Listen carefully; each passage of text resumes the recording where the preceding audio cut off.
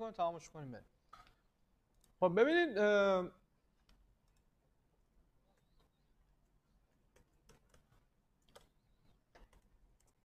قبلیه یه دونه چی بود نوشته بودیم؟ نه اون که الان میام در, در موردش صحبت می‌کنم. می‌خوام در مورد وایل شروع کنم صحبت کردن. خب وایل همون در واقع بحث iteration که داریم همونه هیچ فرقی نداره. فقط یه فرق کوچولو پیدا می‌کنه. ببینید فرقش چیه؟ من به طور مثال می‌ذارم number prompt. مثلا please enter. number x می‌خوام همون چیز رو بنویسم factorial رو بنویسم. for یک یه. لت مول مساوی با یک همون کاری که قبلا کردیم. و اینجا هم چی میشه؟ کوچکتر مساوی x. درسته؟ اگه یادتونم باشه می‌شد مول ضرب در مساوی آی درسته؟ اگه میام اینجا برگردم میگیم کنسول دات لاگ مول. بیایم. اینجا. الان برگردیم مثلا میگیم 5 اگه F12 بزنیم و 120 رو برگردیم خب درست. آیا من می‌تونم بیام اینجا این رو بذارم بیرون؟ یه سمیکالن بذارم. این رو هم بذارم تو دل برنامه و یه سمیکالن بذارم. آیا این دستوری که من نوشتم اجرا میشه یا نه؟ بچه ها نگاه کنید. آیا این دستور اجرا میشه یا خیر؟ من اومدم فور رو شکستم. به چی؟ سه تا قسمت بود. کردم یه قسمت. این دوتا رو این رو آوردم بیرون فور تعریف کردم. این استپرم بردم توی دل فور تعریف کردم قبل از اینکه برس بسته بشه. میشه؟ میشه این؟ کامپیوتری ما میشه نمیشه؟ میشه. کار کرد. نکته چیه؟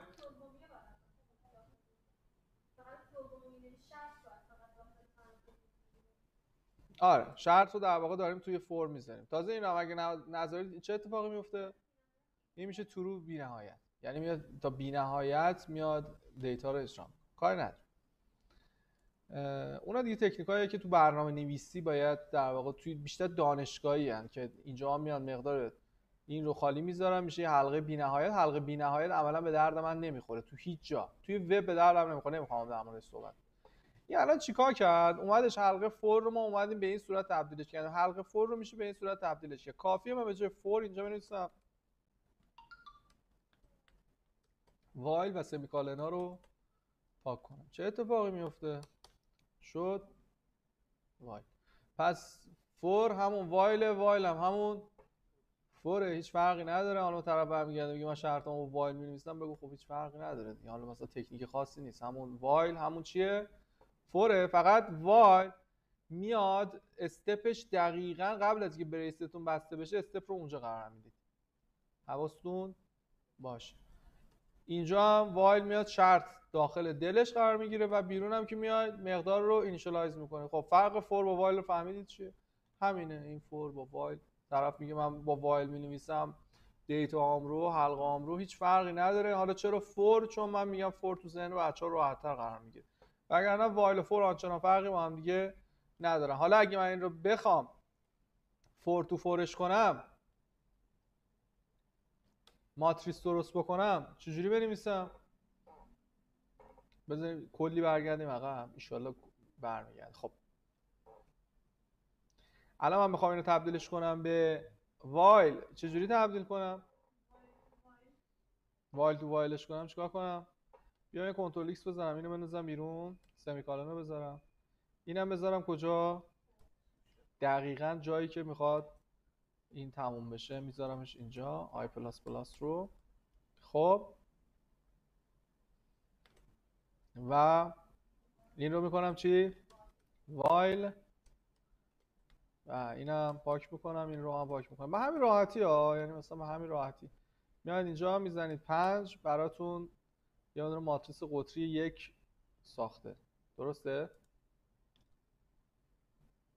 آره من اینجا این یک اینو باید بکنم صفر.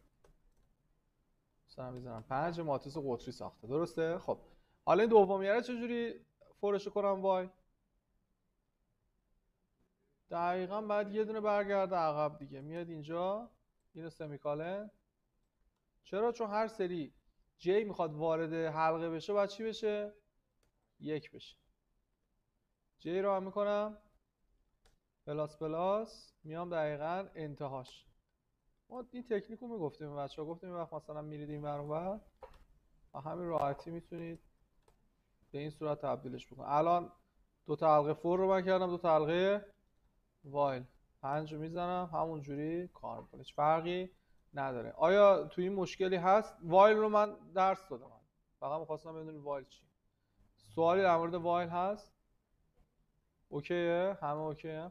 بریم سراغ do while.